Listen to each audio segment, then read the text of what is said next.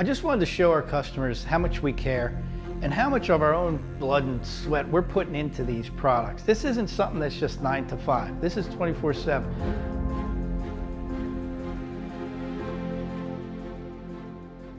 I started in 96. Uh, I started as a product manager there, developing products, bringing in off the shelf, helping with tech, training, pretty much a lot of stuff inside the building. Then I transitioned into the R&D manager. What I'm doing is that same position now, where it's dedicated to the development of all of our in-house design products, stuff that we call the Eastwood or Eastwood Elite line.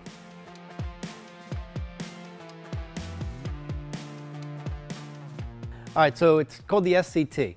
And uh, I think it came from one of the marketing guys. It wasn't me. I'm not good at the naming, uh, but it's surface conditioning tool. And that's what it does. We got some of these drums on here that'll just tear Bondo rust, old paint right off of there. And then we got these other ones like this one on here which will actually um, condition the metal, give it a nice burnish, um, stainless, steels, aluminums, anything like that.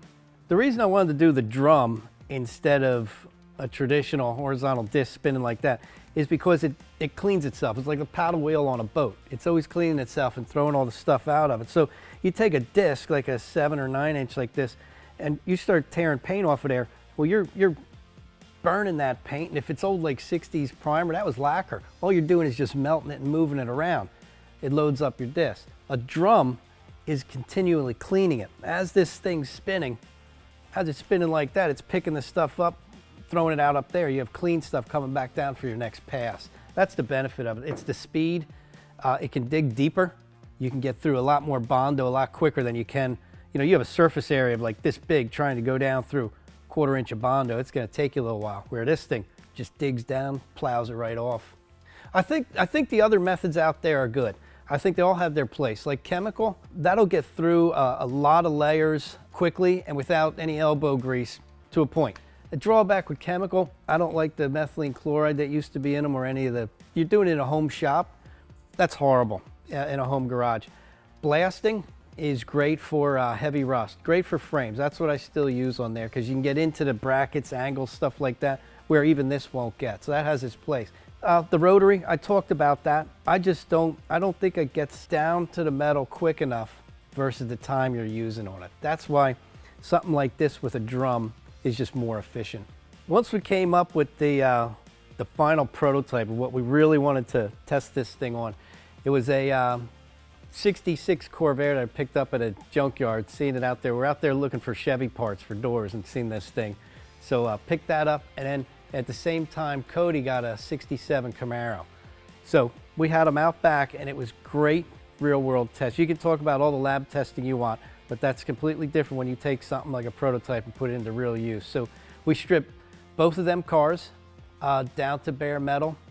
We kept track of how many uh, consumables, how many drums were used on it, if anything happened to the tools, stuff like that. So that was the that was the first real world.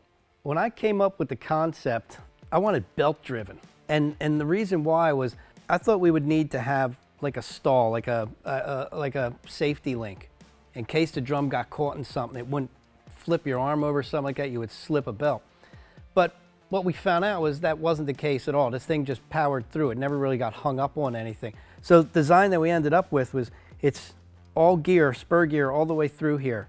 Uh, you have your gear case in here and then your linear gears out to your drum, which is what has made this thing over the last five years just bulletproof.